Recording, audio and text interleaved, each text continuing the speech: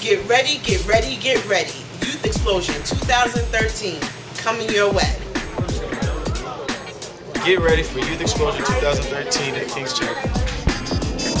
Come to the Youth Explosion 2013 to the King's Chapel. Get ready for Youth Explosion 2013 at King's Chapel. Three. Get ready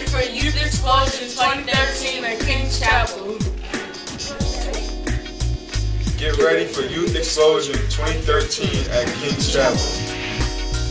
Get ready for Youth Explosion 2013 at King's Chapel.